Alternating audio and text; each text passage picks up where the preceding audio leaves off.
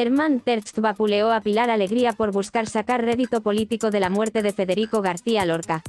La ministra de Educación salió escaldada después de que publicase en redes sociales, asesinaron al poeta, quisieron borrarlo, pero lo hicieron eterno, se cumplen 86 años del asesinato de Lorca.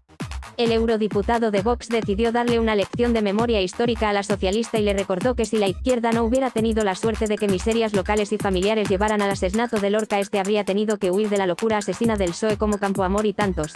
Hoy Lorca, devoto de lo bueno y veros, sentiría asco ante tanta mentira socialista. La ministra de Sánchez no ha sido la única en quedar en ridículo tras intentar aprovechar la muerte del reconocido y admirado poeta para beneficio político.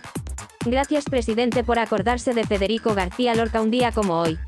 Supongo que hará lo propio el día 28 de noviembre con Pedro Muñoz Seca, escritor español de la generación del 14, quien perdió la vida en Paracuellos a manos del Frente Popular.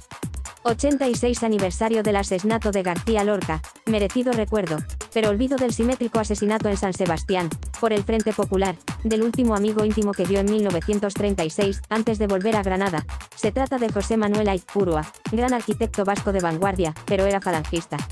Gabriel Rufián también metía la pata en redes sociales al publicar, 16 de agosto de 1936. La Guardia Civil detiene a Federico García Lorca en Granada, los fascistas sublevados le fusilarían dos días después junto a un maestro y dos banderilleros por comunista, masón y homosexual 84 años después, él sigue en una cuneta y Keipo de llano en una basílica. Al portavoz de ERC le bailaron las cifras, ya que han pasado 86 años desde la muerte del poeta. Un detalle que no dejaron pasar los usuarios de las redes sociales para trolearle y quitarle peso a sus afirmaciones.